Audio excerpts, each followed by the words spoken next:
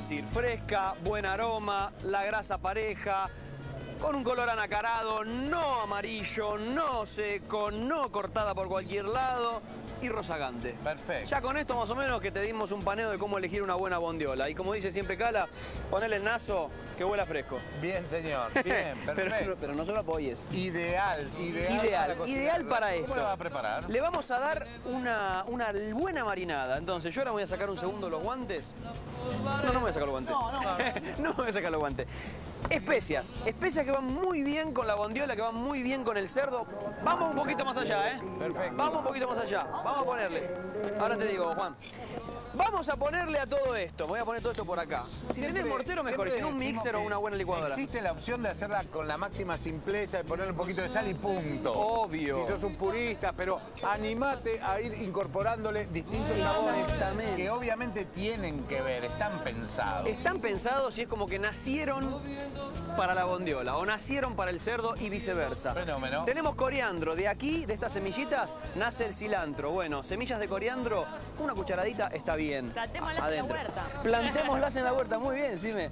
Este, un poquito de pimienta negra, no puede faltar. Bienvenida. También, la misma cantidad. Pimienta negra, ponele, ¿eh? Porque es muy aromática la pimienta negra. Adentro. ¿Tenés verde? Ponele verde, que también perfuma y mucho. Tenemos unas semillas de hinojo.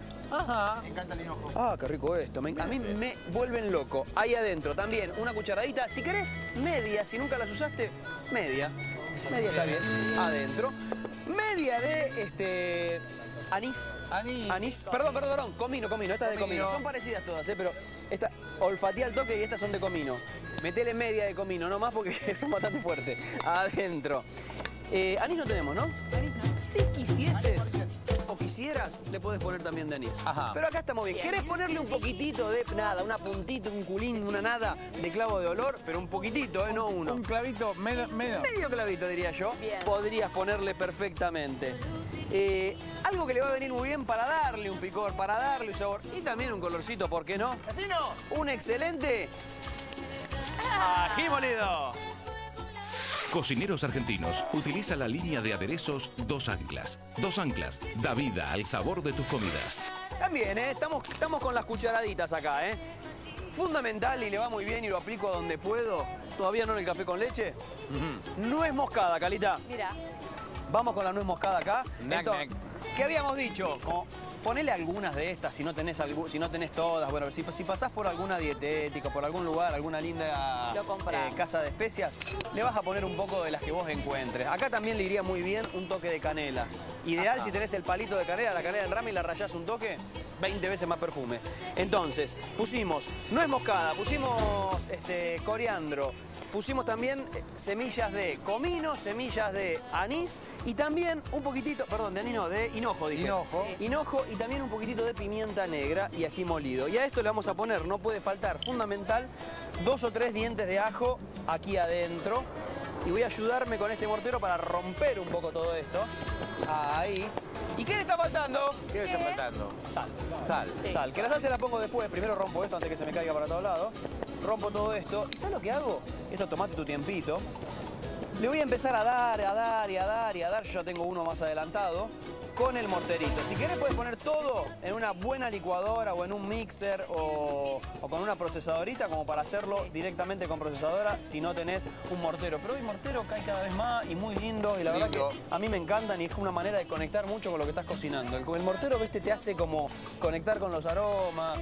A mí me lleva a otro lugar el mortero. Bueno, me parece muy A los bien. morteros Córdoba, ¿eh? Le mandamos un gran abrazo a toda la gente de los morteros Córdoba. Córdoba era, ¿no? Exactamente, Ahí va.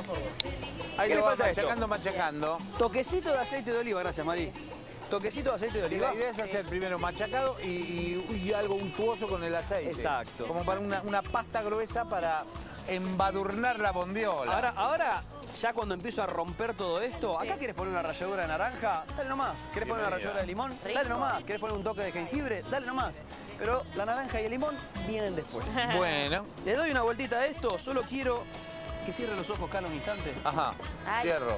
¿Le da miedito? cuidado, ¿eh? Confío en ustedes plegame- plen- plen- plenamente. Respire hondo. Rico. Y no se lo tan cerca, Es ¿eh? fabuloso. Es, es una mezcla, es un cóctel es un ensamble de aromas, pero realmente es espectacular. Es, es la idea, que sorprendas al otro. Qué bárbaro. Hermoso, ¿no? Está bueno eso de con los, eh, con, ¿no? con los ojos tapaditos. A mí me encanta hacer todo con los ojos Eh, el blind, blind no sé cuánto. De vez en cuando viene bien cerrar un poco. Sí, la imaginación se expande. para otro lado. Ya se fueron, pero... pero- No, estamos hablando en Ah, términos gastronómicamente. gastronómicos culinarios. Che, bueno, yo tengo uno más adelantado, al que lo único que le faltaba era un poquito de aceite, con las especias más moliditas para que no te queden tan grandes, ¿no? Bien. Este, esto le das un ratito. ¿Qué haces con estas especias más moliditas? Ahí como está. Frotás, masajeás, embadurnás Sí. la bondiola. Fíjate que parece poco, pero tiene mucho sabor, entonces no, no nos podemos zarpar, ¿viste?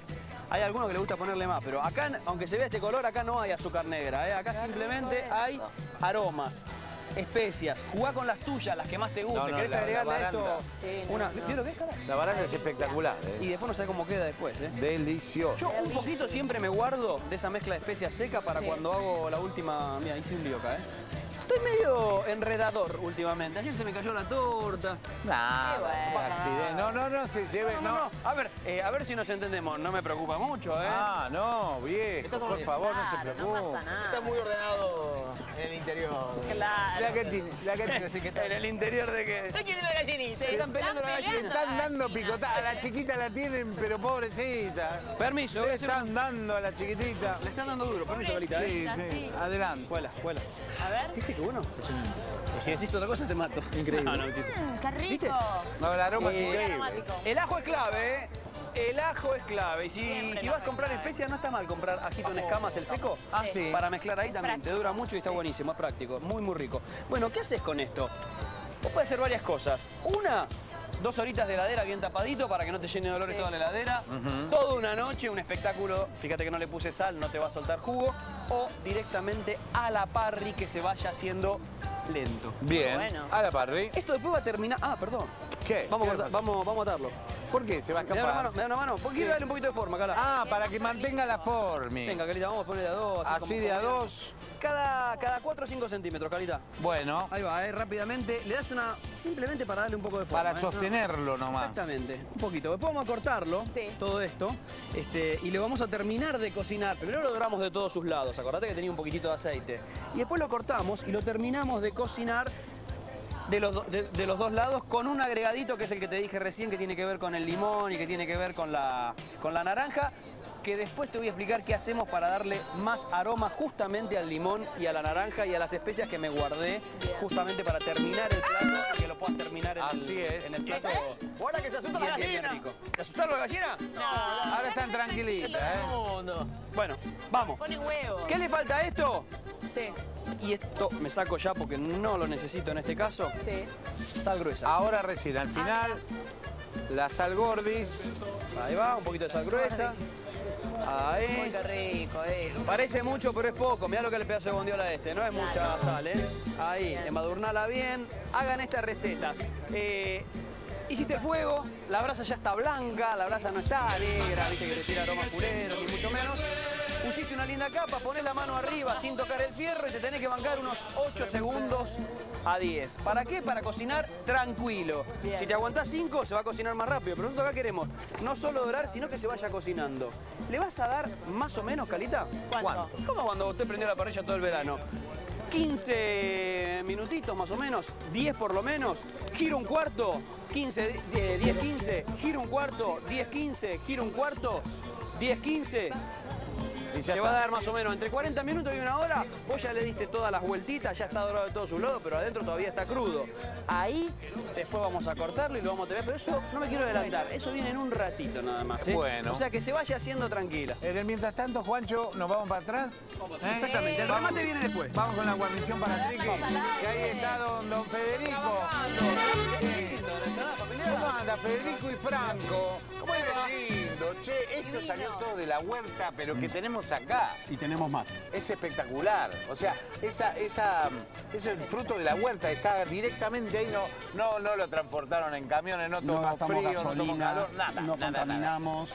Eh, es la idea, es cosechar y consumir. Es espectacular, ¿eh? ¿Y usted la hizo, maestro? ¿La hizo usted? Sí. ¿Sí? ¿Seguro? ¿Y algún aderezo le pones? Aceite, acheto y sal. Perfecto. Vamos a hacer una vinagreta y Adelante, maestro. vamos a condimentar. Bárbaro, bárbaro, bárbaro, bárbaro. ¿Qué, le- qué le- qué- qué es- qué es esto que no me di cuenta? Que no llego a darme cuenta. La ensalada tiene, este, esta. este es mostaza, hojas de mostaza, Hojas de mostaza. lechuga, mostaza. Tiene un sabor picante y un dejo de mostaza. Hay dos variedades, esa hoja y hay otra hoja, ¿viste el picante? Es deliciosa. Súper, súper rica. Buenas. Y esta. Los brotos son espectaculares Esta es también. ¿eh? una variedad Y las otras, ah, mirá. y esta es ¿eh? otra variedad. Mirá. No, no, es deliciosa. Es picante. ¿eh? Picante. ¿Viste la zanabrita acá? La... Ah, la baby. La chiquitita. Qué, qué linda. Mira. Le pusimos hoja de mostaza de dos variedades distintas. Tiene los tomates cherry, hojas de albahaca verde, hoja de albahaca morada, kale morado, lechuga morada, capuchina, criolla, francesa. Una buena, buena mixta, ¿eh? Una muy buena ensalada mixta. O sea que todo eso bien mezcladito, los cherry, todo. ¿Los chicos te comen este tipo de, de variedades? Eh, sigue siendo una lucha, pero el tomate está súper incorporado. Eh, El tomate es lo primero que incorpora, me parece, ¿eh? y ya agarrarlo de la planta y comerlo Es otra es cosa. automático. Es otra cosa. Eh, el snack ya lleva tomate. Yo Claro. tengo una hija y el snack son zanahorias. que se llama Juana. Le, le encanta. Juanita. Un besito a Juana, ¿eh? Es divina, Juana. Está enferma en casa y se está recuperando. Bueno, le mandamos un beso a Juana, que es una Y divina. también le quiero eh, mandar saludos a Goma y a Bela Asquisian del, sa- del Colegio San Lucas. Muy bien. bien, Ah, muy bien. bien. Muy bien. Bien, haces el aderezo Mm. de ahí. Entonces, Oliva. Sencillo este, no le ponen Ay, mucha cosa. ay, lo más simple es que vos viste el sabor no, que tiene la lechuga. La lechuga recién cortada es masticás. Eh, la lechuga mantecosa, descubrí la lechuga mantecosa cuando la pude criar, cortar y comer. Claro. Descubrí por qué es mantecosa. Te iba a decir eso. Que- Eh, cuando compras, por ejemplo, zanahorias en la verdulería o otras verduras, ¿encontrás mucha diferencia con el sabor de las que vos cosechás? Totalmente. Volvemos con esto, encontrás sabor. Claro. Encontrás El sabor. tomate. Sabor a tomate, el tomate. El tomate. Pero, Pero la zanahoria, La zanahoria esa, limpiar un poco, comela, sí, o la sí. hoja de mostaza. Cuando vos cortás la, la rúcula, eh, una rúcula recién cortada es fuerte, picante, Sí. mucho sabor. A medida que pasan los Va minutos, perdiendo. va perdiendo ese sabor. Claro.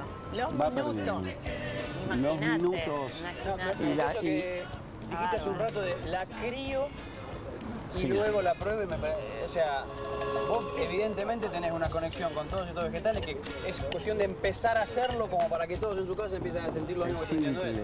Son tres ingredientes. Nosotros cocinamos desde la tierra. Claro. Eh, estoy pensando dos meses antes en la ensalada que voy a comer, miro el tiempo, miro el calendario. Es cocinar, Y por lo visto no necesitas hectáreas hectáreas. ¿eh? no. Un simple cantero. Sí, y sí, ahí me están, ahí me están gastando. Se está cargando,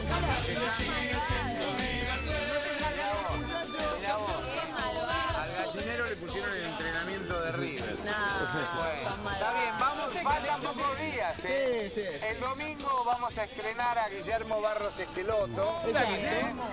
Así que bienvenido.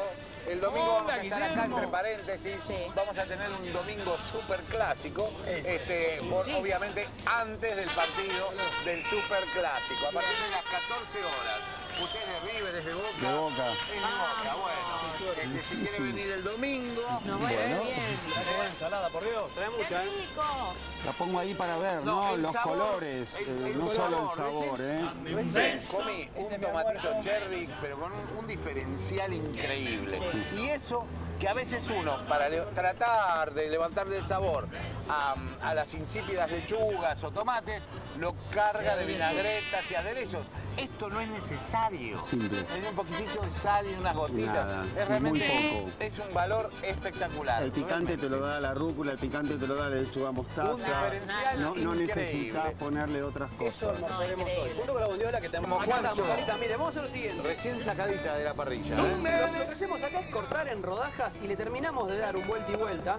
Este ya está listo, pero si vos lo ves muy rojito, le vas a dar un poquito más de tiempo. Claro. Y le queda como una costra súper aromática, es Exacto. increíble. Yo lo muestro así como para que vos tengas una idea. Fíjate, le vas a dar una vuelta de un lado y del otro, te guardaste un poquito de el condimento para ponerle un poco. Y acá Mari lo que hizo fue cortar limones y naranjas, le puso un poco de condimento, las ahumó un poquito de un lado y del otro.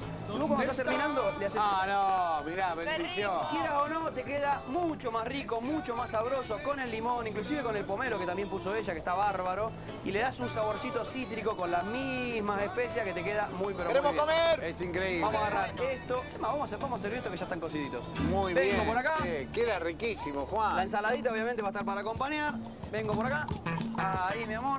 Qué rico. Y si querés para completar le ponemos uno Sí, más. vamos con todo porque hay que almorzar, es el Hay momento. que almorzar y hay que disfrutar. Cocinen rico. Pero una mucha delicia. Juancho, ¿eh? Una bueno. delicia. La ensalada. Muy No, la bien. No, me quedé impactado. ¿eh?